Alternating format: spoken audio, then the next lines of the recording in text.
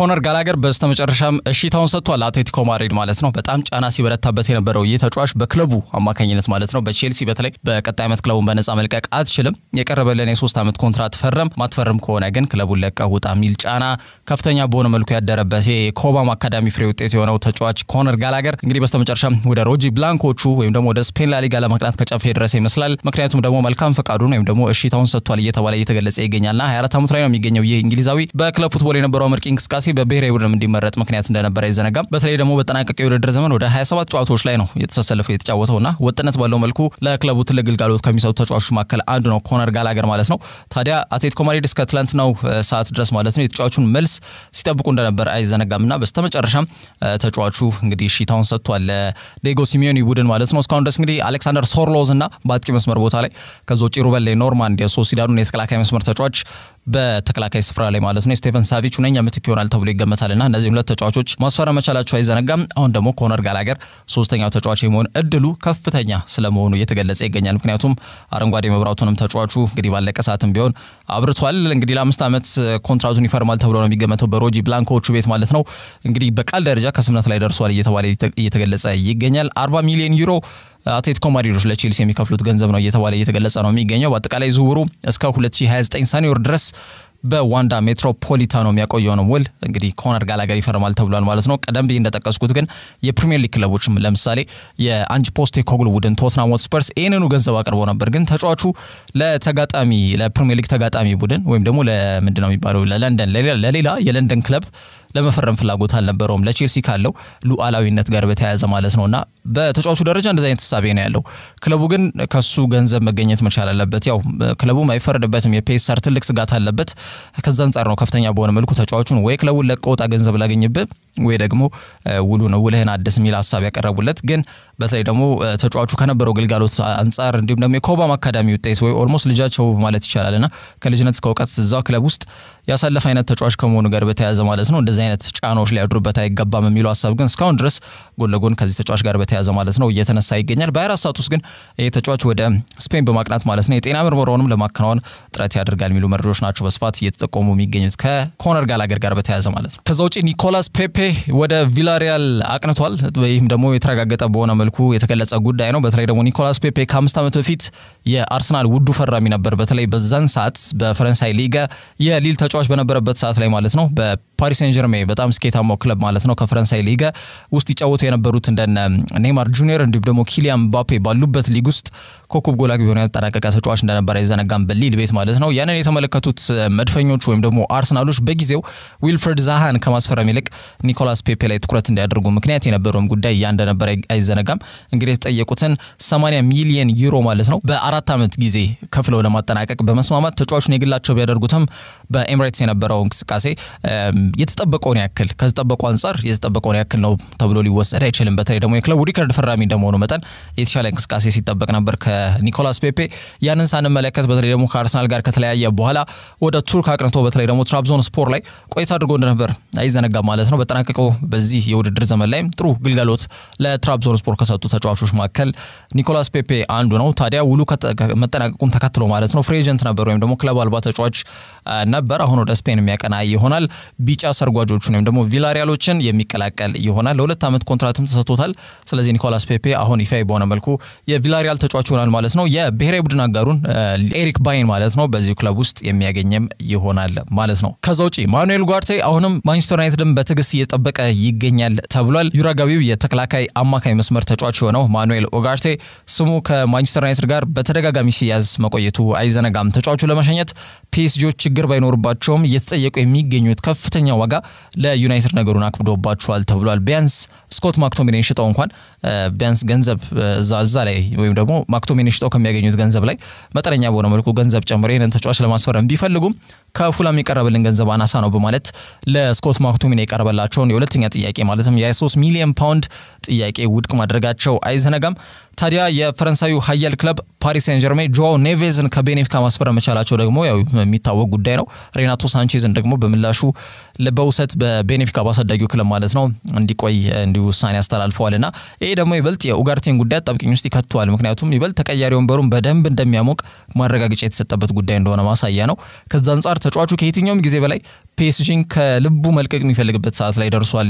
ጥያቄው ያው ገንዘቡን ዩናይትድ ከየት ያምጣው የሚለው ነው አሁን ባለው ወቅት ሁኔታ እንጂ ተጫዋቹ ግልጽ በሆነ መልኩ ክለቡ መልቀቅ እንደሚፈልግ ምንም ጥያቄ የለውም እና ወጪና ገቢን አመጣጥኖ ዝውውርን ማከናወን የሚቻልበት ጊዜ ላይ ነው ያለ ነው። ያው የ financial fair play ም ሆነ የ PSR ጉዳዮች ይህ ነገር ያስገድዳሉ። ስለዚህ የዝውውር መስኮቱ ሊዘጋ አሁን ባለው ወቅት ሁኔታ 25 ቀናቶች ብቻ ናቸው የሚቀሩት። ከዛ አንጻር ዩናይትዶች የፊታችን ቅዳሜ በኮሚኒቲ ሺልድ ከከተማ ተቀናቃኛቸው ማንቸስተር ሲቲ ጋር በዌምብሌ የሚገናኙ ይሆናል። ከዛም ደግሞ በቀጣይ ሳምንት አርብ አዲሱን የፕሪምየር ሊግ የውድድር ዘመን ከፉላም ጋር በሚያደርጉት ጨዋታ ጅማሮቹን የሚያበስሩት ማንቸስተር ዩናይትዶች ናቸው። ከዛ አንጻር አሁን የተጀመሩ ንግግሮችን ይበልጥ መቋጨት ያለባቸው ሰዓት ላይ ነው የሚገኙት። ከ23 ዓመቱ ኦጋርቴ ጋር በግል ጥቅማ ጥቅም ከተስማሙ እንግዲህ ያው ሰንበትበት እንዳሉ የሚታወቅ ጉዳይ ነው። ምናልባት ተጫዋቾቻቸውን offload ማድረግ ወይም ደግሞ ከክለቡ ማሰናበት የማይችሉ ከሆነ እንደነ ሶፊያን አምራባት፣ ከዛ ውጪ ካሴሚሮ በዋናነት ከዛ ውጪ ክርስቲያን ኤሪክሰን፣ እነዚህ ሶስት ተጫዋቾች አሁንም ቢሆን የአገልግሎት ዘመናቸውን የጨረሱ ለክለቡ ብዙም ፋይዳ የሚፈይዱ አይነት ተጫዋቾች ናቸው ተብሎ አይገመትም። ከዛ አንጻር እነዚህን ተጫዋቾች ከክለቡ የሚያሰናብትበት መንገድ ካልዘየደ በስተቀር በተለይ ደግሞ ይህንን ተጫዋች ማስፈረም እድላቸው ጠባብ ስለመሆኑ እየተገለጸ ይገኛል። ተጫዋቹን በውሰት ከዛም ግን በቋሚነት ይሄ በተለይ loan with buy obligation ማለት ነው የተካተተበት አይነት አንቀጽ በውል ውስጥ በማካተት በተጫዋቹ ለማስፈረም ጥረት እያደረጉ እንደሚገኙ ተገልጿል። በዛ ጉዳይ ላይ ሁለቱ ክለቦች አሁን ንግግሮች ላይ ናቸው ተብሏል። ያው የ PSR ጉዳይ ስላለበት ዩናይትድ በዚህ መልኩ ተጫዋቹን የግሉ ማድረግ የሚችልበት ሂደት አለና በተለይ ደግሞ ለጊዜው በውሰት ከዛ በቋሚነት ተጫዋቹን አስፈርመዋለሁ በሚል ጉዳይ ላይ ከፒኤስጂዎች ጋር ንግግር እያደረጉ ይገኛሉ ተብሏል። አፈጻጸምን ማፋጠንና ንግግሮችን መቋጨት ትልቅ አንድምታን የሚሰጥበትና የትኛውን ቡድን አሁን ስብስባቸውን የሚያጠናክሩበት ትክክለኛው ሰዓት ላይ ነው የሚገኙት። ከዛ አንጻር ክለቦቹ እስኪስማሙ በትዕግስት እየጠበቀ የሚገኘው ማኑኤል ኡጋርቴን ለማስፈረም ዩናይትዶች ምን ያክል ጥረት ያደርጋሉ፣ እንዲሁም ሳይጠብቁት ያስተናገዱትና ዱብዳ የሆነባቸውን የሌኒ ዮሮና የሆይለንድን ጉዳይ በተለይ ደግሞ ጉዳት እንዳስተናገዱ ይታወቃልና ከዛ በተጨማሪም የኡጋርቴ አጠቃላይ የዚህ ተጫዋች እንቅስቃሴ በዚህ 25 ቀን ውስጥ ምን አይነት እልባት ያገኛል፣ ምን አይነት ምላሽ ያገኛል? የሚለው ጉዳይ በቀጣይ ጊዜያቶች ላይ ይጠበቃል ማለት ነው። ከዛ ውጪ ኒውካስል ዩናይትዶች የፋይናንስ ሚዛናቸውን ለማስተካከል ቁልፍ ተጫዋቾቻቸውን በመሸጥ ማካካስ የሚጠበቅባቸው ጊዜና ሰዓት ላይ እንደሚገኙ ይታወቃል። ከነዛ መካከል ሶስቱ ተጫዋቾች በልዩነት ታውቋል። ብሩኖ ጊሜሬሽ ወደ ማንቸስተር ሲቲ፣ ከዛ ውጭ አንቶኒ ጎርደን ወደ ሊቨርፑል ወይስ አሌክሳንደር ኢዛክ ወደ አርሰናል የትኛውን ተጫዋች ይሸኙታል የሚለው ጉዳይ እስካሁን ድረስ እንግዲህ አጓጊ ሆኖ እንደቀጠለ ይገኛል። የታይንሳይዱ ክለብ የፕሪሚየር ሊጉን የፋይናንስ limit ወይም ደግሞ ወጪ የማድረግ ጣሪያ ማለፋቸውን ይታወቃልና ከዛ ጋር በተያያዘ ቅጣት ለማስተናገድ ከቀን ቀን እየተቃረቡ ይገኛሉ። ኒውካስሎች በዝውውር መስኮቱ ከተጫዋቹ ሽያጭ ብቻ መቶ ሚሊዮን ፓውንድ ማስገኘት መቻል አለባቸው። እንደሚታወቀው ያንኩባ ሚንቴን ደግሞ ትልቁ ሽያጫቸው ነው። በዚህ ክረምት የዝውውር መስኮት ላይ ለብራይተን ኤንድ ሆቭ አልቢየን ለሳቢ ሰዎቹ አሳልፈው ሰጥተውታል በ35 ሚሊዮን ፓውንድ ማለት ነው። ይህ ግን በቂ አይደለም። ቀሪውን ገንዘብ ሊያስገኝላቸው የሚችል ተጫዋች አሳልፈውንም ቢሆን መስጠት መቻል አለባቸው ቀነ ገደቡ ከመጠናቀቁ በፊት ማለት ነው።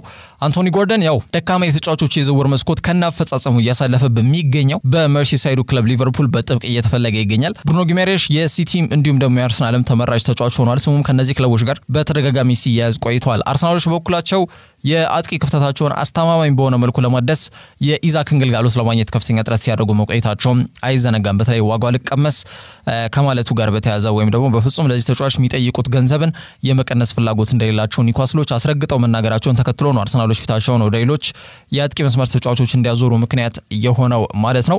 ለአሰልጣኝ ኤዲ ሃውም ሆነ ለቡድኑ chief ለሆነችው አማንዳ ማለት ነው ትልቅ አጣብቂኝ ውስጥ የከተታቸው ጉዳይ ሆኗል። አሁን በተለይ ውሳኔ የሚወስኑበት ጊዜ ላይ ደርሰዋል።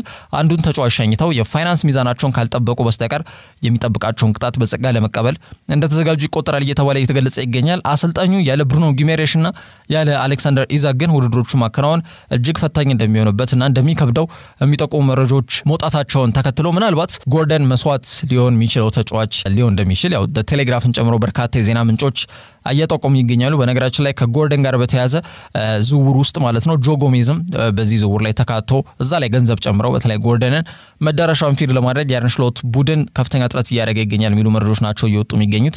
ጆ ጎሜዝ ደግሞ ይበልጥ በተለይ ደግሞ በፊት በነበሩት አሰልጣኞች ወይም ደግሞ ረዘም ላለ ጊዜ ለሊቨርፑል ግልጋሎት ከሰጡ የተከላካይ መስመር ተጫዋቾች መካከል አንዱ ነው። ጆ ጎሜዝ በክለቡ በርካታ ጊዜያቶችን ቆይቷልና አሁን ባለው ወቅት ሁኔታ አርነ ስሎት ለዚህ ተጫዋች የሚሆን ቦታ ያላቸው አይመስልም። በአጨዋወት ስልታቸውም ሆነ በእቅዳቸው ውስጥ ለጆ ጎሜዝ የሚሆን ቦታ ያለ አይመስልም። ከዛ አንጻር ተጫዋቹ ላይ ገንዘብ ጨምረው ይበልጥ አንቶኒ ጎርደን ለማስፈረም ከፍተኛ ጥያቄም ጥረትም እያደረጉ ይገኛሉ ተብሏል። ኒውካስሎች ይህን ጥያቄ ይቀበላሉ የሚለው ራሱን የቻለ የሚጠበቀው ጉዳይ ነው። ይህ በእንዲህ እንዳለ ግን በተለይ ከብሩኖ ጊሜሬሽ ጋር በተያያዘ ያው ተጫዋቹ አዲሱን የውድድር ዘመን በዚህ ክለብ ላደርግ በዝግጅት ላይ ይገኛለሁ። በዚህም ደስተኛ ነኝ። አዲሱን የውድድር ዘመን ከዚህ ክለብ ጋር ጥሩ ጊዜን በማሳለፍ በተለይ ደግሞ የውድድር ዘመኑን እናጠናቅቃለን የሚል እምነት አለኝ ሲል በማህበራዊ ትስስር ገጹ ላይ ያጋራው መልእክት ይበልጥ ከ transfer speculation ጋር በተያያዘ ወይም ደግሞ ስሙ ከሌሎች ክለቦች ጋር በተደጋጋሚ ሲያያዝ እንደነበር አይዘነጋም። ከማንቸስተር ሲቲም ከአርሰናልም ጋር ማለት ነው።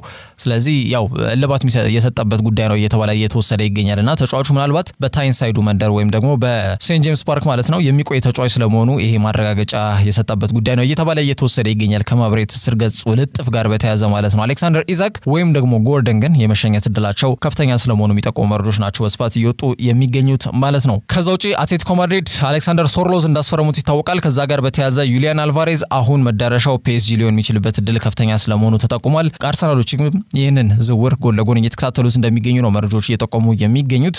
አርጀንቲናዊ የአጥቂ መስመር ተጫዋች ዩሊያን አልቫሬዝ ከሪቨር ፕሌት ወደ ሲቲ ካቀና በኋላ ማለት ነው በብሔራዊ ቡድንም በክለብም ደረጃ በ24 ዓመቱ በጣም በዋንጫ የተሽቆጠቆጠ የእግር ኳስ ጉዞ ያለው ተጫዋች ነው። የካራባኦ ካፕን ካልሆነ በስተቀር ያላነሳው ዋንጫ የለም። የዓለም ዋንጫም ቢባል ፊናሊሲማንም እንኳን በአዲስ መልኩ የተዘጋጀውን ይህንን በተለይ አውሮፓ ዋንጫና የኮፓ አሜሪካ አሸናፊ ሀገር የሚያሳካውንም ክብር ያሳካ ተጫዋች ነው። በክለብ ደረጃማ ሶስትዮሽ ክብርንም ከማንቸስተር ሲቲ ጋር ያሳካ ተጫዋች እንደሆነ አይዘነጋም እና በብሔራዊ ቡድንም በክለብ ደረጃም በጣም ስኬታማ የሚባልና የተሽቆጠቆጠ የዋንጫ ክብሮችን ማሳካት የቻለ አይነት ተጫዋች ነው ዩሊያን አልቫሬዝ ገና በዚህ እድሜው በ24 ዓመቱ ማለት ነውና ከዛ አንጻር አሁን ተጫዋቹ የሚፈልገው ዋንጫዎች ወይም ደግሞ ያላሳካው ዋንጫ የሚጓጓለት አይነት ነገር አይደለም። ዋንጫ ለማሳካት የሚጓጓለት ነገር ቢኖር በተለይ በርካታ የጨዋታ ጊዜዎችን ማግኘትና ለቡድን ሁሌም ቢሆን በተለይ ከፊት መገኘትና የጨዋታ ጊዜዎችን ማግኘት የመሰለፍ እድልን ቋሚ በሆነ መልኩ ማግኘት ነው ተጫዋቹ አሁን ባለው ወቅት ሁኔታ የሚፈልገው። ያንን በግልጽ በኦሎምፒክ ጨዋታዎች ላይ ሲናገር እንደነበረ አይዘነጋም። ፔፕ ጋርዲዮላም የቀኝ እጃቸው ከሚባሉት ቺኪ ቤጊሪስታይን ጋር የተጫዋቹ ወኪል ያወራል። እንግዲህ ምን ውሳኔ ላይ እንደሚደርሱ እናያለን ሲል መናገሩ አይዘነጋም። የማውቀው ጉዳይ ግን ቢኖር ዩሊያን አልቫሬዝ የኛ ተጫዋች ነው የሚል ነገር አንስቶ እንደነበር አይዘነጋም። ጋርዲዮላ ተጫዋች መሄድ እየፈለገ የሚያቆይ አይነት አሰልጣኝ አይደለም። ተደጋጋሚ በሆነ መልኩ ያን ነገር ተመልክተናል። ፌራን ቶሬስ ሪያድ ማሃሬዝንም ሲሸኝ በተለይ ብዙ ጥያቄዎችም ሲነሱበት ኢልካይ ጉንዶጋንን ጨምሮ ማለት ነው። በተለይ በዋንጫ ክብር እንዲያሳኩ ማለት ነው። በተለይ ደግሞ የፕሪሚየር ሊጉን ክብር ካቻምና እንዲያሳኩ ትልቁ ሚና የተወጣው ኢልካይ ጉንዶጋን እንደነበር አይዘነጋም። እና በተለይ በክረምቱ ሲሸኙት ብዙዎች ትልቅ ጥያቄ ጋርዲዮላ ጋር ላይ ሲሰነዝሩ እንደነበር አይዘነጋም። እና ተጫዋች መሄድ ከፈለገ ሚይዝ አይነት አሰልጣኝ አይደለም ጋርዲዮላ። እና ከዛ አንጻር አልቫሬዝም ይህን ጥያቄ ማቅረቡ ይበልጥ ከክለቡ ጋር እንዲሰናበት ሊያደርገው ይችላል ተብሎ ሲነሳ እንደነበር አይዘነጋም። ስለዚህ በተጫዋቹ መንገድ ላይ ያው ጋርዲዮላ ይቆማል ተብሎ አይገመትም። የአርጀንቲና የኦሎምፒክ እግር ኳስ ብሔራዊ ቡድን ከውድድሩ መሰናበታቸው ይታወቃል። በፈረንሳይ ብሔራዊ ቡድን ማለት ነው። ያንን ተከትሎ ተጫዋቹ ወዴት ሊያመራ ነው የሚለው ጉዳይ መነጋገሪያ ሲሆን ቆይቷል። በኤርሊንግ ሃላንድ የተሸፈነውና የዚህ ተጫዋች ጥላ ያረፈበት አልቫሬዝ እንዳሰበው በዚህ ክለብ ሁሌም ቢሆን ሁለተኛ ምርጫ ነው የሚሆነው በቋሚነት ክለቡን በተደጋጋሚ በሆነ መልኩ ማገልገል የሚችልበት ሂደት በጣም የተመጠነ ነው የሚሆነው እና በተቻለ መጠን ጋርዲዮላ የተለያዩ አማራጮች ላይም እንዲሁም ደግሞ ራሱ ሃላንድን ጭምር ተክቶ የሚገባበት ጨዋታዎች ይኖራሉ። አልቫሬዝ ግን በቂ ነው ብሎ ተጫዋቹ አያምንም። እንደሚታወሰው ጋብሪኤል ሄሱስ የሲቲ ሁለተኛ ምርጫ መሆን አለመፈለጉን ተከትሎ አጉዌሮ ከሲቲ ተሰናብቶ ሃላንድ ሲተካ እሱ ወደ አርሰናል በቋሚነት ማቅናቱ የሚታወቅ ጉዳይ ነው። አልቫሬዝም ያንን መንገድ ለመከተል ፍላጎት እንዳለው እያሳየ ይገኛል። ግልጽ በሆነ መልኩ ክለቡ ሲቲ ለዚህ ተጫዋች ከ46 እስከ 50 ሚሊዮን ዩሮ ገደማ እንደሚፈልጉ ግልጽ በሆነ መልኩ አሳውቋል ተብሏል። አትሌቲኮ ማድሪድ አሌክሳንደር ሶርሎት የክረምቱ ሁለተኛ ፈራሚያቸው አድርገው ወደ ዋንዳ ሜትሮፖሊታኖ እንዲያቀና አድርገዋል። ከዛ አንጻር አልቫሬዝን ለማስፈረም ጥረት ያደርጋሉ ተብሎ አይገመትም እና ፒኤስጂዎች አሁን ተጫዋቹን ለማስፈረም በብቸኝነት ባይሆንም ከፍተኛ ጥረት እንዲያደርጉ ያስችላቸዋል ተብሏል። አርሰናሎችም አልቫሬዝ ላይ ግን ፍላጎት እንዳላቸው ተገልጿል። ከወኪሉ ጋር ግን እስካሁን ንግግሮችን አልጀመሩም።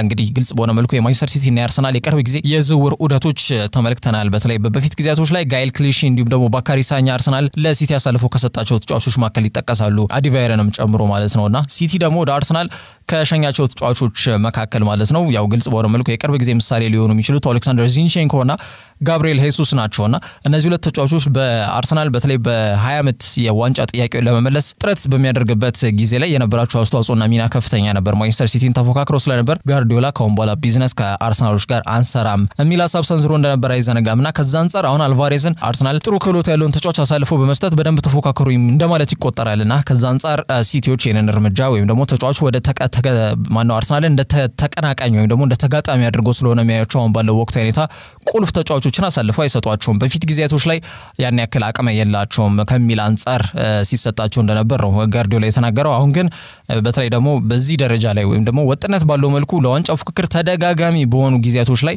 በቀጣይ ጊዜያቶች በጣም በትንሹ ቢያንስ አንድ አንድ አምስት ስድስት ዓመታት ተከታታይ በሆነ መልኩ ዋንጫውን ለማሳካት ጥረት የሚያደርግ አይነት ቡድን እንደሆነ እኔ ማረጋገጫ መስጠት እችላለሁ ብሎ ሲናገር እንደነበር አይዘነጋም ጋርዲዮላና ከዛ አንጻር እንደዚህ አይነት ቁልፍ ተጫዋቾችን ለአርሰናል አሳልፎ ይሰጣሉ ተብሎ አይገመትም። ግን መድፈኞቹ እዚህ ተጫዋች ላይ ፍላጎት እንዳላቸው አልደበቁም እየተባለ እየተገለጸ ነው የሚገኘው። እንግዲህ በቀጣይ ጊዜያት ላይ የዩሊያን አልቫሬዝ ጉዳይ የሚጠበቅ ይሆናል ማለት ነው። ከዛ ውጪ አርሰናሎች ከሚኬል ሜሪኖ በመቀጠል የክንፍ አጥቂ መስመር ተጫዋች የማስፈረም እድላቸው ሰፊ ስለመሆኑና ሶስት ተጫዋቾች short list ማድረጋቸውም ተሰምቷል። ሊሮይ ሳኔ ከባየርን ሙኒክ፣ ኒኮ ዊሊያምስ ከአትሌቲኮ ቢልባኦ እንዲሁም ደግሞ ፔድሮ ኔቶ ከወልቭስ ናቸው። ከሶስቱ አንዱን ለማስፈረም ከፍተኛ ጥረት እንደሚያደርጉም ፉትቦል ለንደን በዘገባው ላይ አመላክቷል ማለት ነው። ያለፉትን ሁለት ዓመታት መድፈኞቹ ዋንጫውን ለማሳካት ተቃርበው በማንቸስተር ሲቲ ምክንያት ያሰቡትን ማሳካት ካልቻሉበት ምክንያቶች መካከል አንዱ የቡድን ጥልቀት ከጥራት ጋር አጣምሮ ለመያዝ ዋናው ምክንያት ስለመሆኑ ሲገለጽም ቆይቷል። በዚህ ዝውውር መስኮት ላይ በተጠናቀቀው የውድድር ዘመንም አምናም ሲታይበት የነበረውን የግራ መስመር ክፍተት ለመጠገን በማሰብ ማለት ነው ሪካርዶ ካላፊዮሪን ከቦሎኛ ማስፈረም መቻላቸው አይዘነጋም። በተለይ ደግሞ አርሰናሎች ግልጽ በሆነ መልኩ ባለፉት ሁለት ዓመታት ላይ እያንዳንዱ የሜዳ department ላይ ማለት ነው የመሀል ተከላካይ፣ የቀኝ መስመር ተከላካይ፣ የአማካይ መስመር ተጫዋቾች እንዲሁም ደግሞ በአጥቂ መስመር ላይ በክንፍ አጥቂ መስመር ቦታ ላይ ጥሩ ክህሎት ያላቸው ተጫዋቾች አሉ። የግራ መስመር ተመላላሽ ተከላካይ ስፍራ ቦታ ላይ ግን ትልቅ ጥያቄ ሲነሳ እንደነበር ይታወቃል እና ኦሌክሳንደር ዚንቼንኮ ላይም ጥያቄዎች ሲነሱ ነበር። በተለይ ተደጋጋሚ በሆነ መልኩ ከተመለከትንም እዛ ቦታ ላይ ወይም ደግሞ ያንን ቦታ ለማደስ ሚኬል አርቴታ ከአመት ዓመት ተጫዋቾችን እያስፈረመ ይገኛል። አምና ቲምበርን አስፈረመ። ያልታሰበ ጉዳት አስተናግዶ ረዥም ጊዜ ክለቡን ግልጋሎት ሳይሰጥ ቆይቷል። አሁን ደግሞ ካላፊዮሪን በዛ ቦታ ላይ እንዲሁ ለመጠገንና ቦታውን ለማደስ በማሰብ ተጫዋቹን ያስፈረሙበት ሂደት እንዳለ ይታወቃል። በቀጣይ ሚኬል ሜሪኖ ዝውውርን ከቋጩ በኋላ የቡድኑ የማጥቃት እንቅስቃሴ አጋዥ ሊሆኑ የሚችሉ የክንፍ አጥቂ መስመር ተጫዋቾችን ማስፈረም ዋና ኢላማቸው ስለመሆኑ እየተገለጸ ይገኛል። ሊሮይ ሳኔ፣ ኒኮ ዊሊያምስና ፔድሮ ኔቶ ደግሞ ስማቸው በተደጋጋሚ ከክለቡ ጋር ሲያዝ የቆዩ ተጫዋቾች ናቸው። በነገራችን ላይ አርሰናል የክንፍ አጥቂ መስመር ተጫዋች አስፈረመ ከተባለ ምናልባት ከነዚህ ተጫዋቾች ውጪ የመሆን እድሉ ጠባብ ስለመሆኑም ነው በነገራችን ላይ እየተገለጸ የሚገኘው። ሳኔ ያው በክለቡ እስካሁን ድረስ አዲሱ ላለመፈረሙ ሙኒኮችን ያበሳጨ ጉዳይ ነው። ክለቡን በቀጣይ ዓመት በነፃ እንዲለቅ አይፈልጉም። ከዛ አንጻር ክለቡን ወይ እንዲለቅ ወይ ደግሞ ኮንትራት እንዲያድስ ልክ እንደ ኮነር ጋላገር ሁሉ ማለት ነው ጫና እየተደረገበት ይገኛል። ሚኬል አርቴታም ከሳኔ ጋር በሲቲ አብሮ ስለሰራ ዳግም በኤምሬትስ ለመጣመር ከፍተኛ ፍላጎት እንዳለው የሚጠቁሙ መረጃዎች ናቸው በስፋት እየወጡ የሚገኙት። ሌላው ተጫዋች ኒኮ ዊሊያምስ ነው። ይህ ተጫዋች በበኩሉ የፕሪሚየር ሊግ ልምድ የለውም። ስሙን በስፋት ከብሉግራናዎች ወይም ደግሞ ከባርሴሎናዎች ጋር ሲያዝ መቆየቱ አይዘነጋም። ግን ባርሴሎናዎች ያው ዳኒ ኦልሞን ለማስፈረም የወሰኑ ይመስላል። ከዛ አንጻር ተጫዋቹ ላይ ፍላጎታቸው መቀዝቀዙ አይቀርም ተብሏል። ፍላጎት ቢኖራቸውም በፍላጎት ብቻ ተጫዋች አይፈርምም፣ ገንዘብ ያስፈልጋል። ክለቡ ካለበት የፋይናንስ ቀውስ ጋር በተያያዘ ከሁለት አንዱ ነው መምረጥ የሚችለው። ዳኒ ኦልሞን የመረጡ ይመስላልና ከዛ አንጻር አሁን ተጫዋቹን የማስፈረም አቅምም አይኖራቸውም መባሉ ለአርሰናል መንገድ የከፈተ ጉዳይ ሆኗል ተብሏል። ጥያቄው 48 ሚሊዮን ፓውንድ የውል ማፍረሻውን ለመክፈል መድፈኞቹ ምን ያክል ዝግጁ ናቸው የሚለው ጉዳይ ነው። ሌላው ተጫዋች ፔድሮ ኔቶ ነው። ይህም ተጫዋች የፖርቹጋላዊ ስሙ በተደጋጋሚ ከጥር ካሳለፍነው ጥር የዝውውር መስኮት ጊዜም ጀምሮ ማለት ነው ከመድፈኞቹ ጋር ሲያዝ መቆየቱ አይዘነጋም። የወልቭሱ አሰልጣኝ ጌሪ ኦኒል ስለ ኔቶ ያነሱት ሀሳብ እንደነበር የምናስታውሰው ጉዳይ አለ። በተለይ ኔቶ በትልቅ ክለቦች ሊፈለግ የሚችል አይነት አቅም ያለው ተጫዋች ነው። ትልቅ ክለብ ደግሞ ትልቅ ግልጋሎትን መስጠት የሚችልበት አቅም ያለው አይነት ተጫዋች እንደሆነ መናገር ይቻላል ብሎ አንስቶ እንደነበር አይዘነጋም። በተለይ ደግሞ transfer speculation ላይ በጣም በትልቁ ማለትም በዝውውር ዑደቶች ላይ ስሙ በተደጋጋሚ ከሌሎች ክለቦችም ጋር ሲያዝ እንደነበር አይዘነጋም እና ክለቡ መልቀቅ ከፈለገ ማንኛውም ሰዓት ላይ ማቅናት ይችላል፣ እኔ መንገዱ ላይ አልቆምም ሲሉ ሀሳባቸውን መስጠታቸው ደግሞ ይበልጥ ተጫዋቹ ስሙ ከተለያዩ ክለቦች ጋር እንዲያያዝ የሚያደርገው ጉዳይ እንደሆነ መመልከት ይቻላል። ሁለቱ የሰሜን ለንደን ከተማ ክለቦች ማለትም አርሰናል እና ቶትናም ደግሞ በጥብቅ የተጫዋቹን ጉዳይ ሲከታተሉ እንደቆዩ አሁንም እየተከታተሉ እንደሚገኙ እየተገለጸ ይገኛል። ፌዴሪኮ ኪዬዛን እንዲሁም ደግሞ ፔድሮ ኔቶን ከሁለት አንዱን በአማራጭነት ለማስፈረም አንጅ ፖስቴኮግሉ ከፍተኛ ጥረት እያደረጉ ይገኛሉ የሚሉ መረጃዎች ሲጋሩ መቆየታቸው አይዘነጋም።